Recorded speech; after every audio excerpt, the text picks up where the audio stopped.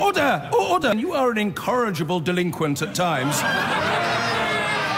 Behave yourself, man!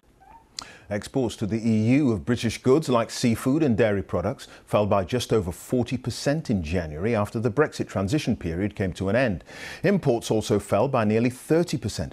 The Office for National Statistics says temporary factors, like producers stockpiling goods before the end of the year, were to blame. At the same time, the British economy shrank by 2.9%, largely because of COVID restrictions. Our economics correspondent Andy Verity has more.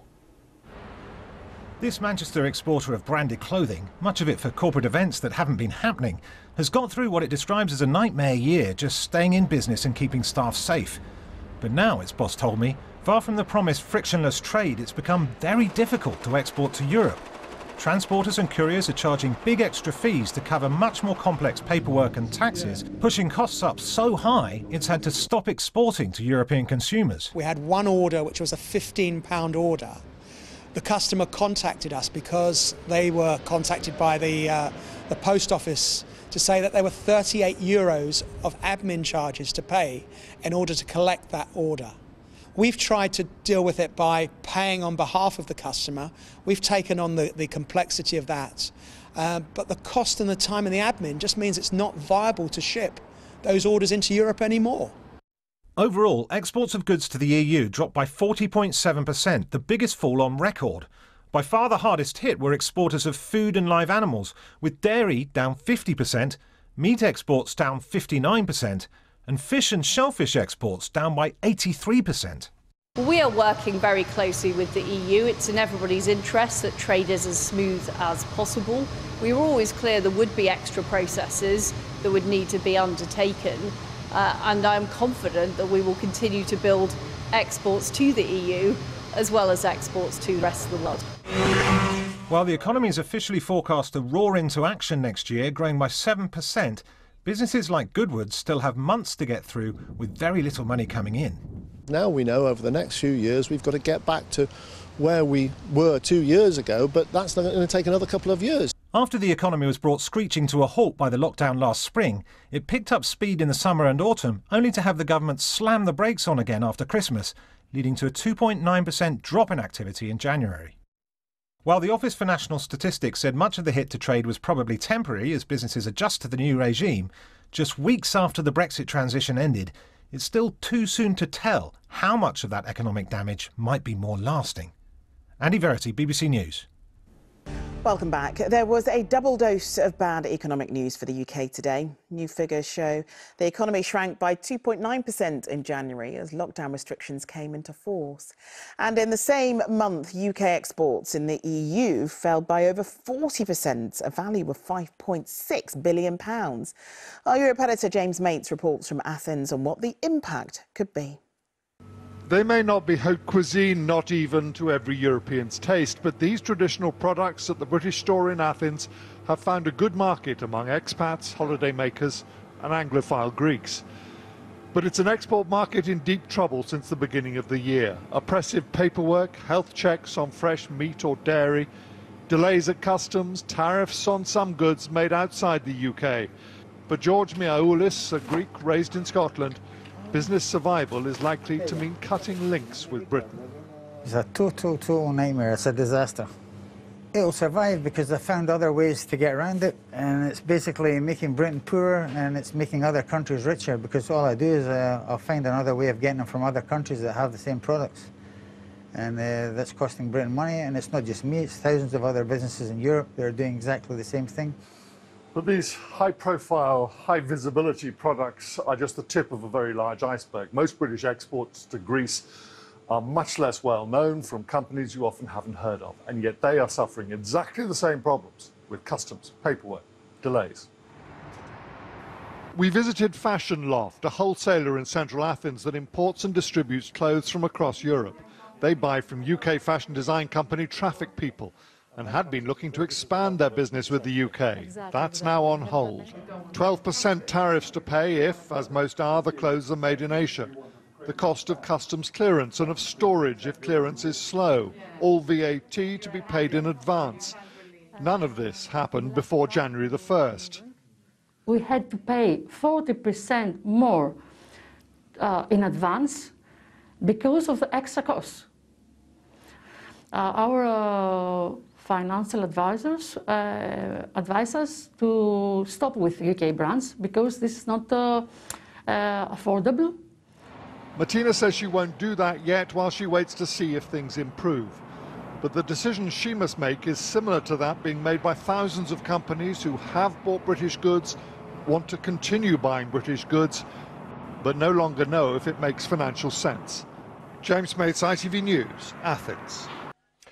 Now, the Office for National Statistics said that in January, exports of goods from the UK to the EU dropped by a staggering 40%. The government said that lockdown, stockpiling, and businesses adjusting to new trading relationships make reductions inevitable. But as our economics correspondent Helia Ebrahimi now explains, it is a figure that is causing deep alarm amongst businesses. Friction is emerging between the Prime Minister and his European counterparts.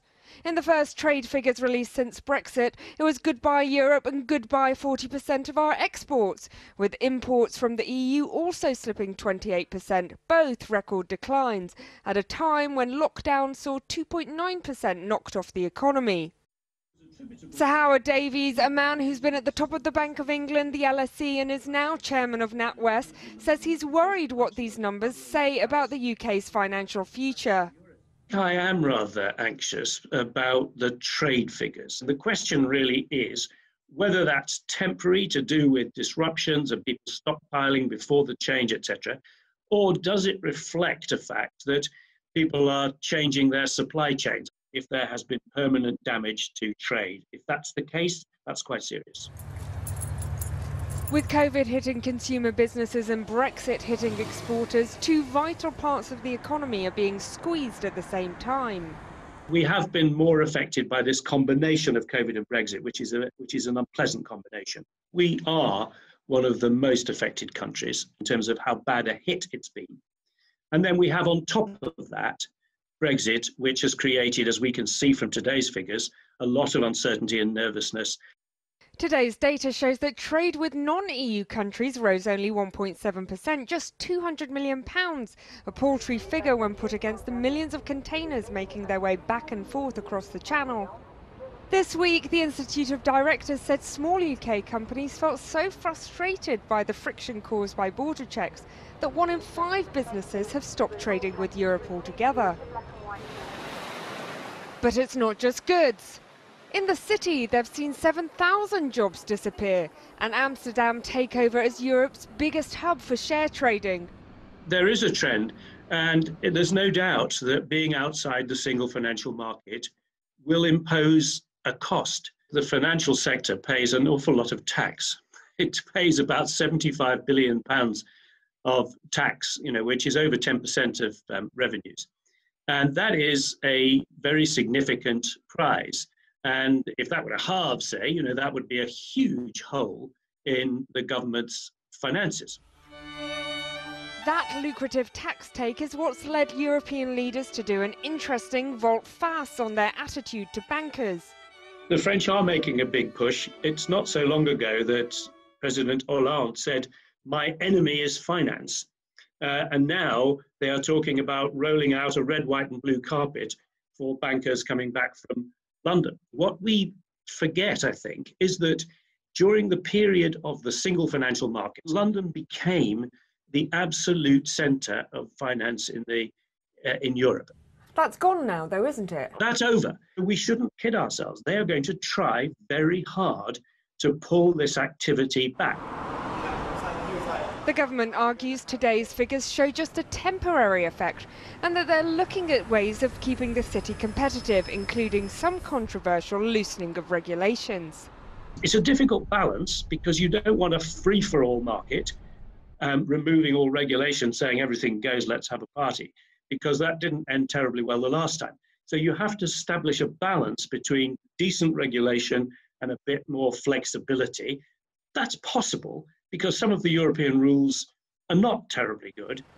The city's role at the heart of European finance produced growth, money and jobs for this country, something the Chancellor may miss as he tries to repair the public finances. Well, one of the most high profile post Brexit trade problems has been with goods going from Britain to Northern Ireland. Unionists are furious that under the Northern Ireland Protocol, they're subject to EU customs checks. On a visit there today, Boris Johnson defended his decision to unilaterally delay the introduction of full checks for another six months. The EU have threatened legal action, but the Prime Minister insisted his actions were lawful. Our political editor, Gary Gibbon, reports from Belfast. Number 10 said the Prime Minister's trip here was focused on COVID, but they know the protocol is what people want to ask him about. So the usual local TV interviews didn't happen. He spoke only briefly on camera about why the government had unilaterally broken the agreement with the EU and decided to delay the introduction of more checks on goods coming into Northern Ireland from Britain. What we want to ensure is that the protocol upholds the uh, wishes of all communities, of both communities, and, and has the consent of, of both. So there's got to be an east-west uh, consent to what's going on, as well as, as north-south. So that's what we're doing. We're just trying to make sure that uh, that's built into it. Menacing graffiti and protest posters have sprung up around Northern Ireland, objecting to products being checked on their way in from Britain, or even in some cases, barred. Nice to see you. Northern Ireland's First Minister Arlene Foster has hardened her stance against the protocol. And before touring the vaccination centre in her constituency, she lobbied the Prime Minister in private.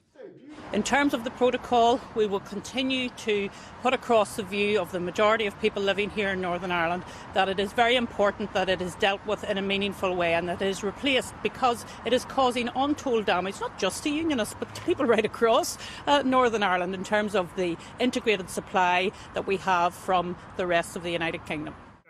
Sinn Féin complained they'd been denied a similar political meeting. That's not my information, but I'm always happy to, to meet all sides. Many here want all the new checks in operation at points of entry like the port of Larne abandoned. But the EU is pressurising the UK to double down on checks. Letters from Brussels threatening legal action for not doing this are expected any minute.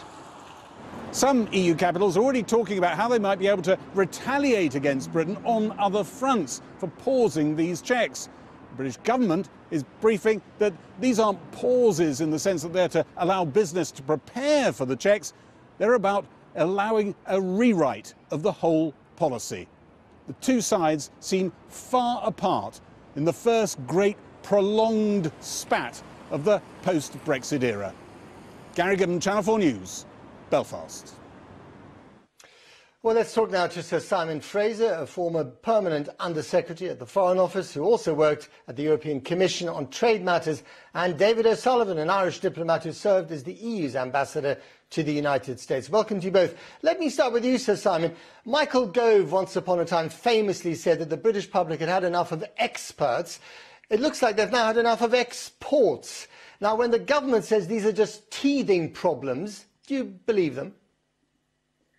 Uh, well, partly, I guess. But I mean, look, nobody is surprised, I think, that there's been a fall in exports to the EU that, that in January, because it was the first month after the end of the so called transition period, uh, when we had left the single market and left the customs union, and it was bound to happen. But I think what is surprising, indeed shocking, is the scale of that fall. So 40% of the UK's exports to the EU uh, uh, compared with the January a year ago.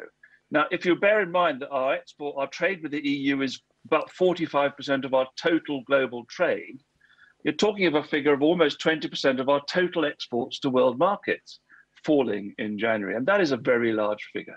So that is surprising. But I do agree with people who say we shouldn't jump too rapidly to conclusions because the, the pandemic factor is clearly you know, an important, you know, extra issue, which was depressed activity. Mm-hmm. There was stockpiling before the end of the transition period, and there are these teething troubles. So, you know, not the whole of that is a structural Brexit effect, but some of it certainly is.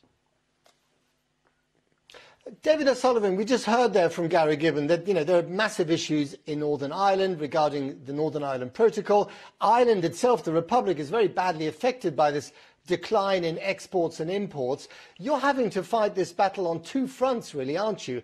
How long can you go on with this? Well, I, think with regard to the Northern Ireland Protocol, uh, the, the, the, the, view in the EU and, and in Ireland is that this was negotiated almost personally by the British Prime Minister. Uh, I recall it was almost just described as a negotiating triumph. It was signed by the British government. It was ratified by the British Parliament. Uh, and so people don't quite understand why people are now saying, well, this isn't working. Uh, because if, if it isn't working, did people either not understand what they were signing or did they sign it in bad faith? So I think that's the first point that has to be said. This was the only solution that could be found to a very difficult problem that Brexit posed, a fundamental challenge to the issue, the position of Northern Ireland, the Good Friday Agreement, peace on the island of Ireland. Now, this was it was not a perfect solution. I don't think anyone thought it was, but it was felt to be the only one. And the trick is to make it work. And that requires both sides to address any issues which arise. We were in the middle of negotiating uh, the kinds of issues that are now being discussed when the British government unilaterally decided uh, to take action, which is deeply unhelpful. Right, but is the European Union now dragging its feet you know, on some crucial issues like data and financial regulation, and perhaps while they're dragging their feet, uh, making a bit of a land grab for some of the business from London? No, the European Union is not its feet. The, the UK has now become a third country. That means that different rules apply to it than applied when it was a full member. Uh, the European Union has to give approval for data transfers, has to eventually decide on issues like uh, equivalence for financial services. These things take time. Uh, they need to be studied. We are treating the United Kingdom in the same way that we treat any other third country which is not a member of the European Union. Okay, uh, Simon. Uh, Lord Frost is now in charge. He's, you know, got uh, he's quite robust in his views. You know, he wrote a piece in the Daily Telegraph the other day, kind of pointing the finger at Brussels for being too difficult. Has he made the bad blood even worse? Well, I think that David Frost, you know, who's one of the architects of the agreement that we have, he's one of the architects of the hard Brexit that we have. Uh, uh, and the consequences of it. Uh, but on the other hand, he did negotiate those agreements, and he does know the people in Brussels. I think he's representing the views of this government, which are they don't like him very much. Pro-Brexit government. Sorry, sorry. They don't like him very much in Brussels, apparently. Well, I'm not sure that his job is to be there to be liked. I think his job is to, is to be there to uh, to represent the British government's view. Now, whether or not you agree with the British government's view, he does represent it. I do think that, however, he and others in the British government need to think about the political relationship and atmosphere that is developing between the UK and the EU because it's not positive at the moment. And if we're going to deal with this structural change in trade, for example, and if we want to, you know, keep as much trade as we can with Europe, then we do need to focus on trying to have a positive political relationship as we come out of this Brexit negotiation with all the, you know, all the not not ill will, but the negatives that have mm. associated with it. Okay, David O'Sullivan, finally, is there something that the European Union should be doing that it's not doing in order to kind of improve the tone here? Or are we just going to settle down to the kind of long-standing, rumbling conflict of attrition? Well, that is certainly a risk. I mean, I, I genuinely think that the European Union has tried not to uh, escalate this, has tried to, to stay calm. Uh, people were deeply disappointed that the unilateral decision to uh, uh to extend the, the, the, grace periods at a moment when precisely people were sitting around a table trying to discuss that very issue and find a mutually acceptable solution. I think the European Union will remain open to a reasonable discussion. Uh, we also believe that post Brexit we need to establish the most cooperative relationship possible with the with the UK. But mm. you know this cannot happen if we have megaphone diplomacy, which seems to want to attack and criticize the European Union at every possible moment moment. That, that will have to stop. Okay. All right. Got to leave it there. David O'Sullivan, Sir Simon Fraser, thank you very much indeed to both of you. Jackie.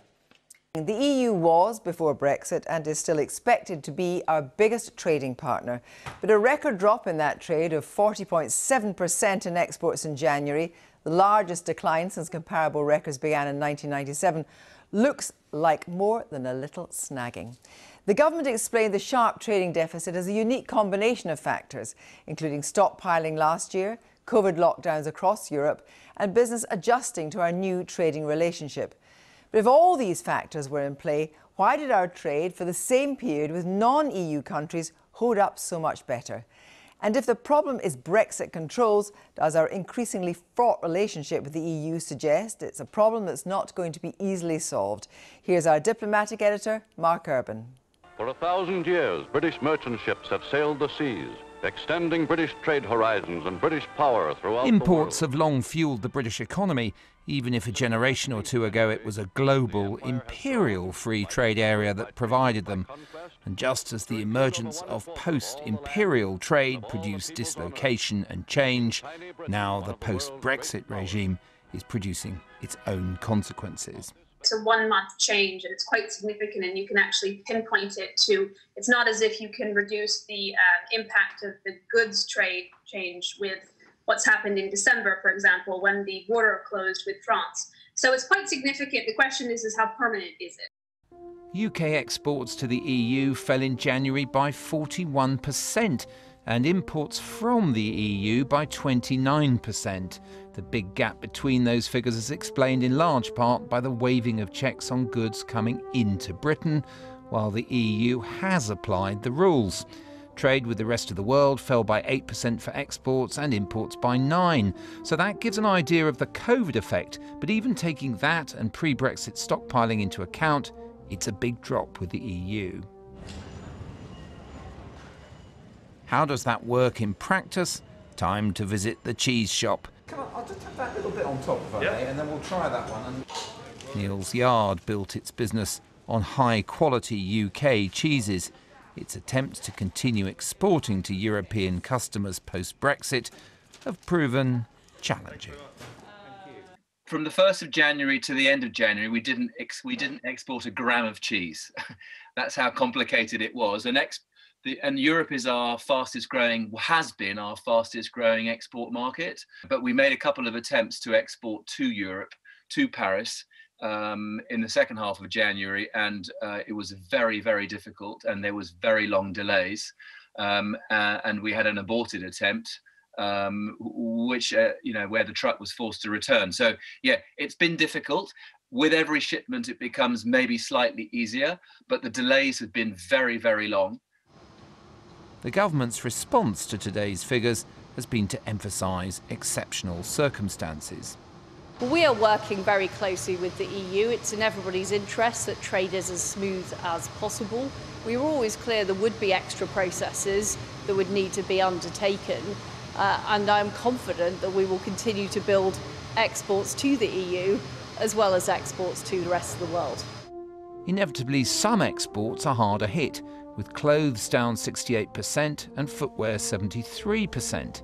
As for those sectors where new trade rules will make long term recovery harder, food and live animal exports to the EU are down 54% overall, with fish and shellfish down from £92 million last January to 16 this one, live animals from 22 million to 6 million, and cheese down by two thirds.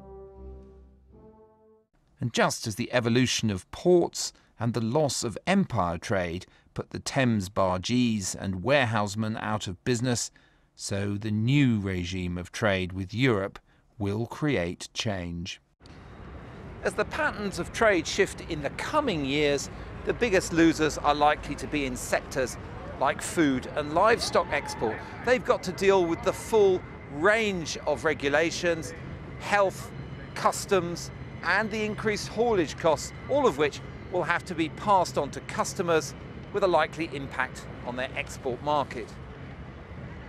How great a weight will the new EU trading regime put on exporters like this cheese business?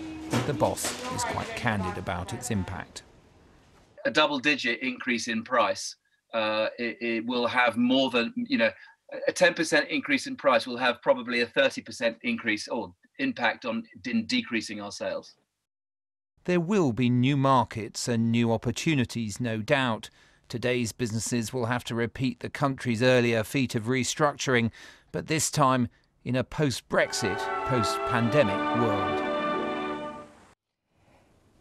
Mark Urban. Well, we invited the government onto the programme tonight, but they declined. I am joined by the Shadow International Trade Secretary, Emily Thornberry, Bloomberg's Stephanie Flanders and former Conservative Trade Minister and current member of the International Trade Select Committee, Mark Garnier. Good evening to you all. If I could bring with you Mark Garnier, begin. Centre for European Reform reckons about half the reduction in trade isn't COVID, it isn't stockpiling, but different trading regimes. Do you accept that that is a much more intractable problem? Yeah, I do. I mean, I think if you're uh, uh, an exporter who's exporting small quantities, so so relatively low value uh, of good uh, packets of good, then your cost of exporting has now gone up very very significantly compared with the with the value of, the, of what you're exporting. But I think uh, you know until we've seen this really bed down over the next sort of coming months or even years, we won't really know the exact yes. effect uh, how, how, this has had on, but, on, on well, you talk about coming months and coming years. The problem is that some of the agriculture, livestock, and fishing industry doesn't have years to wait. There's a massive drop, you know, 92 million to 16 million in uh, food exports. That isn't something that, if it's not solved within a few months, then businesses will go under.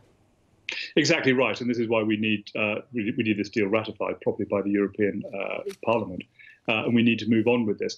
But as I say, you know, I'm prepared at this, this stage to give the benefit of the doubt to the government in terms of the fact that there are teething problems with this. But you're absolutely right, Kirsty. You know, we, we, we, we want to continue to trade uh, with the European Union, and sanitary and phytosanitary products are very important for us. But if you we, you heard there from the cheesemaker from Neal's Yard, and he was saying um, that uh, 10% has been added because of the cost of red tape.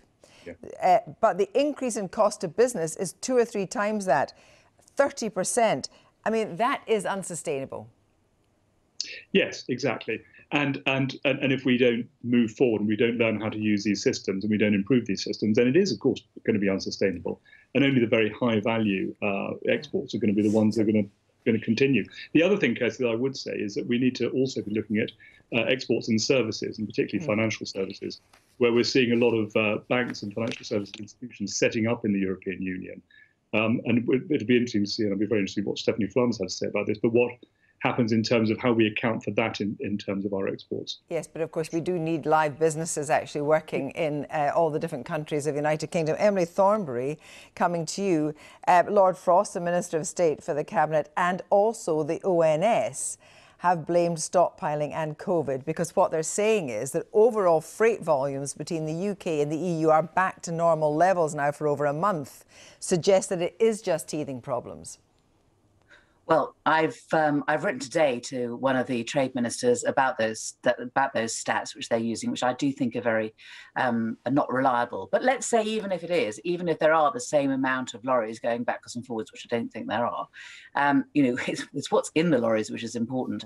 Are they coming in uh, full and going out empty? Are they coming in half full and get what is it that's, that's in them? Counting the number of lorries in and off off ro-ro um, ferries is not necessarily enough by itself. I think, I mean, I think that certainly some of those, some of the problems are transitory. Some of the problems, you know, we can't say just because that we had these terrible results in January that that is going to continue. But I think there are three problems. One is that it, some of the problems are a fundamental consequence of the decisions that we made about the sort of Brexit that we wanted. So coming out of the customs union, coming out of the single market does mean there will be barriers to trade that aren't just tariffs.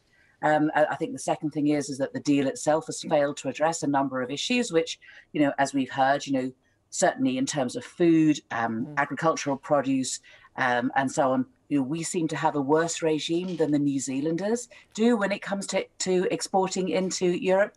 And and and we have talked you know we haven't talked about about services and obviously our economy fundamentally is a services economy and there's nothing next to nothing in the deal which helps to smooth the way for services and the third thing is a lack of time and preparation. I mean, getting a deal on Christmas Eve or whenever it was, um, when we don't have enough vets, we don't have enough customs agents, you know, and businesses simply haven't had enough time so, to prepare. So, so Emily Thornberry, do you now regret voting for the deal? Do you think that was a mistake in December?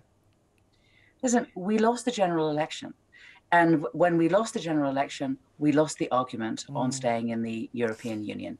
And it, we had to move on.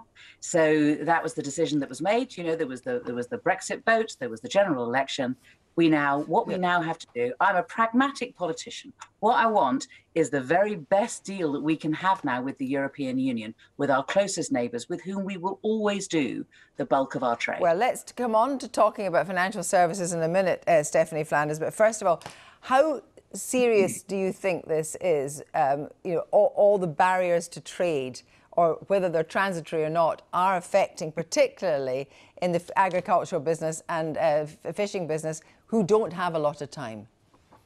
No, and you can see some extraordinary numbers in these in these figures. And as, as Mark Urban pointed out, for, for the shellfish and uh, things like that, which are down more than 80%, um, there's not much prospect that it's going to get a lot better unless you have a new kind of arrangement, a new kind of deal uh, with Europe, at least on, on that. Um, but it is a bit extraordinary. I mean, the, the, Mark Garnier has just given a much more kind of straightforward uh, acceptance of quite how much the difference this has made, the red tape, particularly for small scale exporters, than any minister I've heard. Uh, I mean, it just it was it was very much, as Emily Thornberry says, a, an element of this deal. Uh, that it was going to impose these kind of costs. And it's true that, I mean, if the numbers continue to be as bad as January, that would be yeah. an extraordinary impact and not one that we're expecting. But to have so little conversation around you know what the positive mm-hmm. plan is whether it's for services uh, or for anything else does seem to me very odd. And to have the the junking of an industrial strategy which had been developed over three years just with a sort of stroke of a pen in the budget last week. But yeah but presumably uh, the good news stories would be big trade deals. I mean we've done all these lots of trade deals uh, Mark Garnier which is obviously replicating as an individual country what the eu had with the countries in question and uh, from everything from Albania to Japan, but no, none of the none of the, the, the, deals that would be transformative. You know, we haven't got the India deal, we haven't got China deal, we haven't got the Australia deal, we haven't got the US deal. You know, why were these not, as it as your boss likes to talk about, oven ready? Um, well, we are moving on. I mean, we're, we're, we're working on the US deal, the uh, New Zealand, uh, the uh, uh CPTPP, and, uh, and Australia. Um, and the Japan deal was slightly better than the JIPA deal, which was done between Japan and, uh, and the European Union, and sort of slightly more tailored tailored for us. So I think we are moving ahead with this. But at the end of the day, you know, we have uh, I'm sure I think it's about 67% of our total trade is now covered by these by these deals, which we've we've, we've but we want to out. grow the trade, isn't that the point? We were going to grow the trade with these new uh, reinvigorated trading partners once we were outside the EU. Yes, and that's what we're doing. We're, we're, we're moving forward to do a trade deal, for example, with the US, which is one that's failed to be achieved. How quickly do you think, though? I mean, how quickly? It's a, it's a big deal. I mean, it's 14% of our total trade, and so we've got a lot of things to get well, through. But, like, let, let, I just wanted to pick you up uh, in a minute on that. But Stephanie Flanders, you're shaking your head about the idea that we're going to do a quick turnaround American trade deal. But, but even if we did, imagine if we got a deal, a fantastic deal with the with the US, a fantastic free trade deal um, with the US tomorrow. Uh, our economists looked at this, and you would need at least four or five Americas to do a deal with in order to just replicate the kind of tr- the trade that we might have potentially lost uh, from from leaving single market. If you look at what we've just the, the straightforward cost to trade of making it more difficult to trade with our biggest trading partner, you need to find four Americas to do a really good free trade deal with. And unfortunately, if you look around the world, there is only one America. There's only one economy so, that we could get that kind of benefit. So let's just quickly talk about uh, financial uh, services sector. We don't have, we've got a memorandum with the financial services, but we don't have a deal. Does that matter?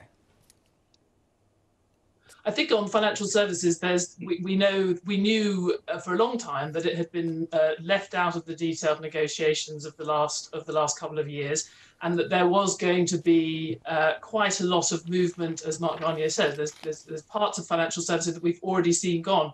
And I think even if we did arrange, find some kind of arrangement with the EU on this, and they've, they've shown no desire um, to make it easier for us yeah. to sustain our position, whether or not that's in their interest, they haven't shown any desire to do that. Um, we have seen quite a lot of uh, London's business and its sense of being a major global financial centre already kind of seeping away over the last few months. We had a uh, there are polls suggesting that uh, only a third of financiers now think that the city is the world's uh, preeminent global but, hub. And but, it was but, let, but let me but let me just put this to Emily Thornberry, a counterpoint which comes from uh, PricewaterhouseCoopers, who say that the UK has overtaken India as the world's fourth most promising growth opportunity. And foreign direct investment generally has always been an attractive destination. The FDI has actually held up. Well, let's see. Um, I mean, I think there are many advantages to, for people investing in the UK. Of course, there are, and uh, and many people want to, to live here, and and for every reason, you know. So so it isn't just always you know kind of pounds and pence quite often. But I think in the end, when it comes to trade deals, as Stephanie has said, the question is. Is there enough trade around the world to make up for any losses that we may make in trade with the European mm. Union? And the second point is, at what cost? So, you know, which countries are we prepared to make deals with and on what basis? Are we prepared to protect our agriculture, for example, if we want to do a deal with, uh, with America that has very different food production standards? What are we going to do about protecting? access to patient data for the National Health Service? What about data generally? There is a whole lot of questions um, when we're coming to making deals with other countries that have culturally uh, uh, very different uh, approaches to these things and very different economies. Thank you all very much indeed.